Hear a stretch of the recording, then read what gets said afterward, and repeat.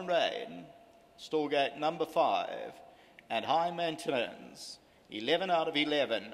1300 they are sent on their way in the opener of the bipod and 7 carat, one of the first to go.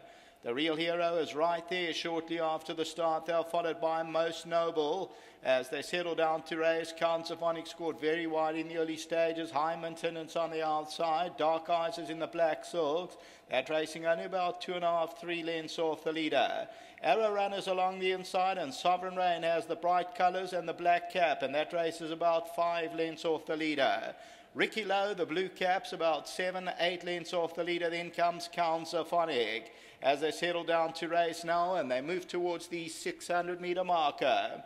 And the leader is the real hero, just in front. Seven carat second. Most noble at the rail third. Dark Eyes is in the black, high maintenance with the red cap on the outside.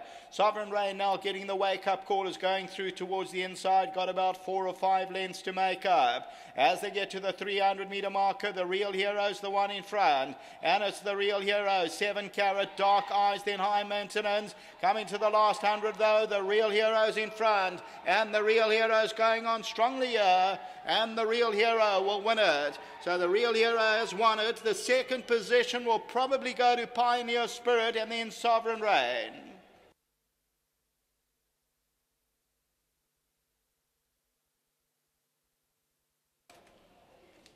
So, victory for number nine, the real hero. I know Sheldon fancied this one at big odds, and the real hero comes to victory, uh, the son of Brave Tin Soldier.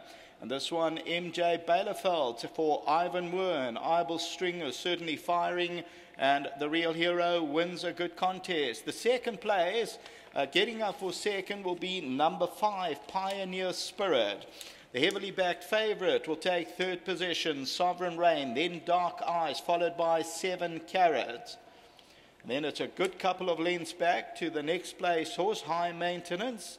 And they were followed further back by, uh, behind that one was uh, Tour de Force, then Most Noble, and then further back in the field, Count Symphonic, who didn't settle in the early stages. So as we look at the head on, and going for broke is the real hero, who bolts away from the opposition and wins it by about two or three lengths at the business end. And then uh, Pioneer Spirit runs on nicely at the rail to take second. And then the favourite Sovereign Rain also with the filly Dark Eyes and Seven Carat on the outside. That's the running of the bipod, the second race, until the third back to the studio.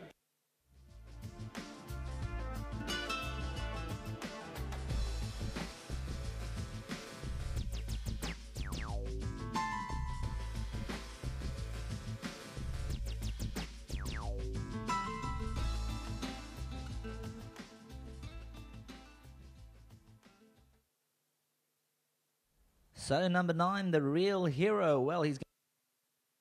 So number nine, the real hero, the son of brave tin soldier, has come through to win a good performance out here for the Ivan Moore stable. And let's get Ivan Moore into the winners area here. Well done, Ivan. He looked to have that come on look about him. Uh, he's a nice horse. I thank God again for his blessing. Uh, I always thought a lot of this horse. His first couple of runs were poor. He got left badly last time. Running on well, as a matter of fact, Muzi said to me, run him over 12, 1400, this horse will win. And uh, I think this Brave Tin Soldier is a pretty nice stallion, and I think somehow it's got quite a nice stallion there. Looks like a nice progressive horse, so I think Preggy's going to have some fun with him. I think so. I've got to thank Preggy for uh, this is his first winner for me, and I thank him very much for coming into the stable. He asked me to buy one for him up there, and I picked this horse for him. And thank goodness it's worked out all right. Well done. There's a betting voucher from Betting World there. Well done to you. Thanks very much to Chanel there. There's your Betting World voucher for the winning connections. Congratulations to Arben Moore. Let's get MJ Byleveld into the picture here. Now, just looking at his last run, he was very, very slow. Tonight, you elected to get him up there? Yeah, Mr. Moore just asked me, actually, he gave me quite a bit of confidence in, in the ring. He, he said he's also been working very well, and um, I must just get him out the bench and, and have him there. And he jumped out, and I was there for nothing. And he was a bit green, but I must say, I wasn't going really fast. And managed to get Oz to just bring us in. And when I asked him, he, he really quickened, he lowered and he quickened to win quite a nice race. Eh?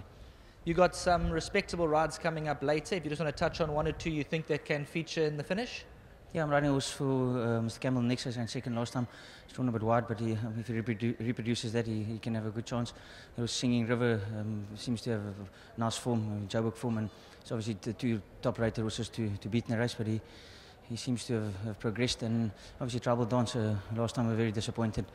Um, I don't know, Scottsville at the moment, you can have it, not for me. Maybe the horse is not enjoying it, yeah, but I don't think he enjoyed it and he ran below par. I think tonight we put the blinkers on and I think he'll be, he'll be in the fight out. Thanks very much for the feedback. Yeah, thank you. And uh, to Mr. Moore, we've got a nice little strike rate going. So thanks to him and his owners for the support. Uh, my sponsors, Avontuur, they're doing a great job. Um, there's Oratorio and Navarre in the top 10 rated horses in the world. So fantastic for them. And well done, Pippa and, and the whole Tabor family. Thank you. Good on MJ Byleveld there. Number nine, the real hero, the son of Brave Tin Soldier. He's come through, he's kept up that gallop, and he's gone on to score the second race of the evening. Next up will be race number three. Stand by to get all those bets on.